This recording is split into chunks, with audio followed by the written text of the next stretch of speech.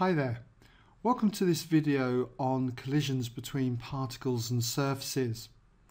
Now what I'll be doing is introducing you to something called linear momentum and the principle of the conservation of linear momentum where we'll be able to work out the speeds of the particles after an impact providing certain conditions are met. So how do we do this?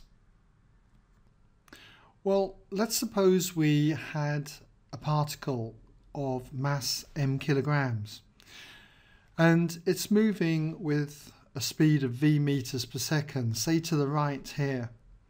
Then we have a quantity which is called momentum. Momentum is defined as the mass multiplied by the velocity. So for instance, if I had a particle of mass 5 kilograms and it was moving with a speed of 3 meters per second to the right, then what its momentum would be, let's just write it in here, the momentum would be equal to its mass 5 kilograms multiplied by 3 meters per second, giving us 15. But what are the units? Well, the units are kilograms, meters per second. Okay, we've got a mass multiplied by a velocity.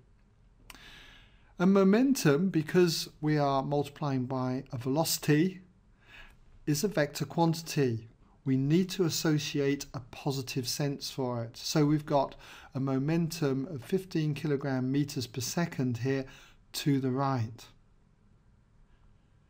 Now I want to introduce you to another idea and if we take two particles, let's suppose the particles have masses m1 and m2 say and we look at the motion before they collide. So if we just put here before and then we look at the motion after they collide and so we'll just put after here. Now these two particles could be moving towards one another or they might be moving in the same direction. Let's say M1 is moving with a speed of U1 and M2 is also moving to the right with a speed of U2. I'm assuming that U1 is greater than U2 otherwise they won't collide. But after they hit one another they're going to move off with other speeds. And let's suppose the final speed of m1, we'll call it say v1, and the other speed of m2 after the collision we'll call v2. Now assuming that the two particles are smooth and they're also moving on a smooth surface, we don't often put the surface in, but let's just suppose that they're moving along a surface like this and it's smooth. Then providing there's no other external forces acting on the system, trying to restrict the movement, when they collide, we get something called an impulse. They both receive a kind of bash in different directions, in opposite directions.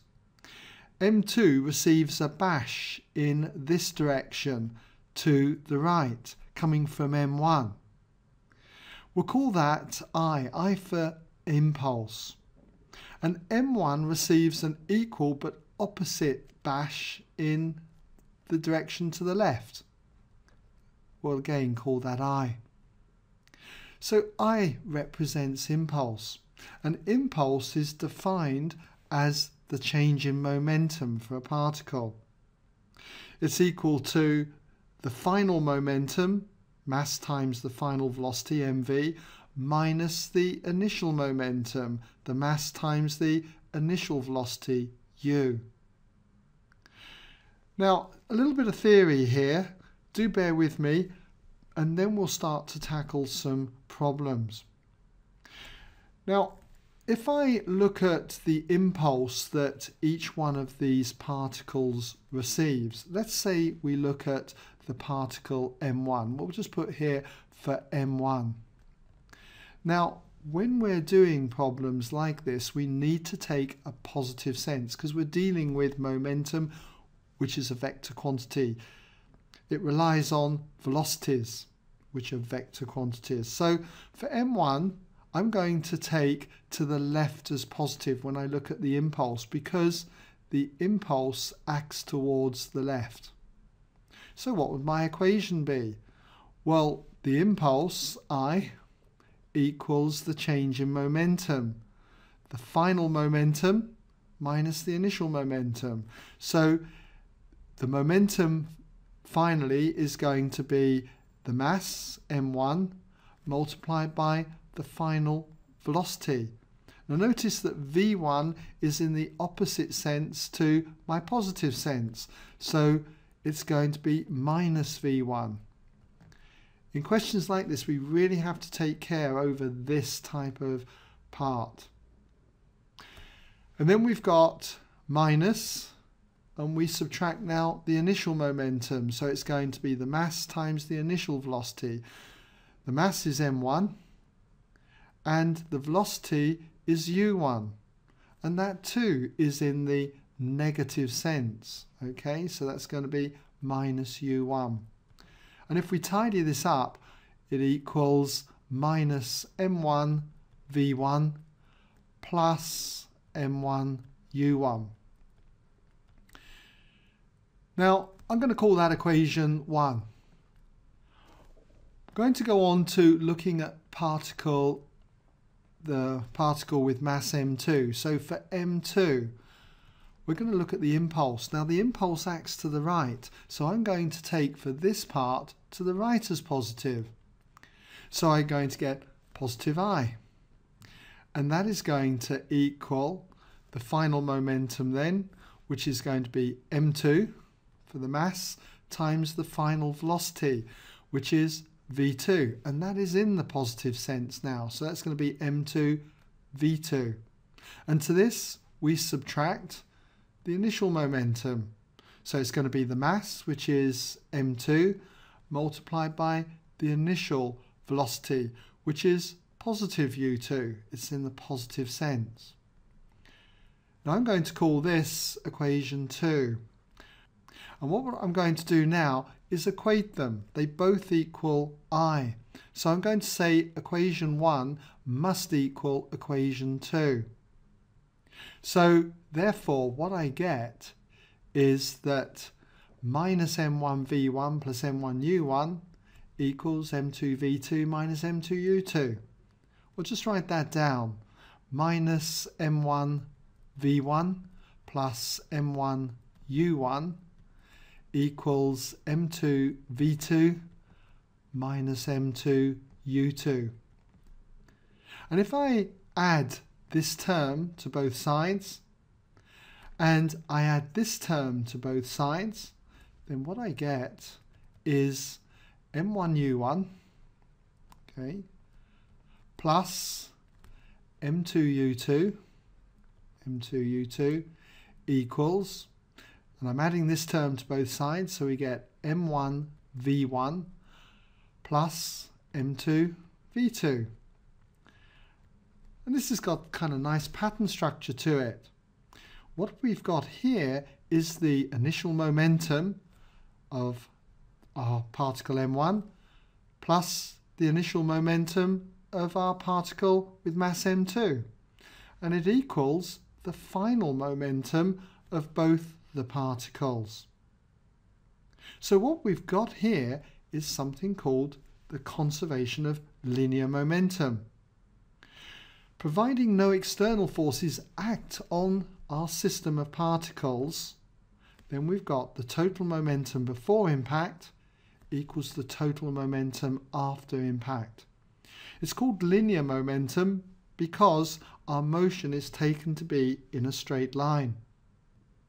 Now this is an equation that we're going to be using when we're looking at the impact between two particles. And I've got a couple of examples here. We've got in this first example two particles, one of mass 2 kilograms, another one of 5 kilograms. And what we've got is before they collide, the 2 kilogram mass is moving at 6 meters per second to the right and the 5 kilogram mass is moving initially 3 meters per second to the right. But then they hit one another and the direction of our 2 kilogram mass is reversed. It bounces back at 1 meter per second. And what we've got to do is find the velocity of the 5 kilogram mass, which I've marked in as moving to the right at v meters per second.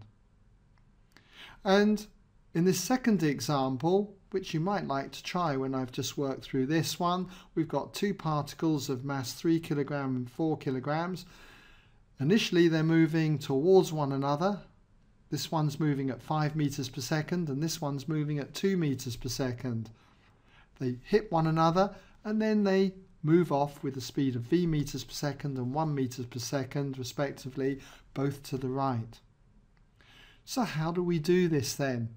Well, if we just take this example here, we need to take a positive sense. And that positive sense I'm going to take to the right purely because the final velocity here I've got going to the right. So I'll put that in as positive. So what we've got then is the momentum before impact. That's going to be, for this mass, 2 multiplied by its velocity, which is 6. It's in the positive sense. To this we add the momentum of this particle, so its mass is 5, and its velocity is 3. It's moving in the positive sense. And this is equal to the total momentum after impact. So we start with this particle. Its momentum is going to be the mass, 2, multiplied by the velocity. Now we've got to take care here because it's moving at 1 meter per second, but to the left in the opposite direction, which I've associated as positive. So this is going to be minus 1. And to this we add now the momentum of our 5 kilogram particle and it's going to be the mass 5 multiplied by the velocity which is v and it's in the positive sense so that'd be 5v. Now I work this out we've got 12 here plus 15 so that's going to be 27 so we've got 27 equals minus 2 plus 5v and if I add 2 to both sides I've got 29 equals 5v. And if I divide both sides by 5, I end up with v equaling 5.8. 5.8 meters per second. Now if v turned out to be negative, it would mean that the, instead of the particle moving to the right, it would in fact be moving to the left because I've taken positive to the right. So don't worry too much about your directions that particles are going to move off. Let the maths do the work, okay? And interpret your answer relative to the sign that you've got here. Okay, well I did say that you might like to have a go at this one. Just give you a moment to pause the video. Do come back when ready and you can check your work solution against mine. Okay, welcome back if you had a go. So for this one, we need to take a positive sense. I'm going to take positive to the right. Do experiment though. It's a good idea to just experiment and take it to the left. You should still get the same answer, the same interpretation that V will turn out to be going to the right if it comes out positive. Okay, so let's have a look. Momentum before impact. That's going to be the mass, for the first particle, 3, multiplied by its velocity, which is 5. 5 is in the positive sense, so it's 3 times 5. To this, we add the momentum here of the second particle. Its mass is 4. We multiply it now by its velocity. Now it's moving at 2 meters per second, but to the left in the opposite sense here. So that's going to be minus 2.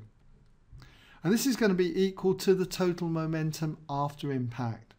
So we've got the mass here of 3 kilograms and we multiply this by the velocity, which is positive v. Okay, it's in the positive sense.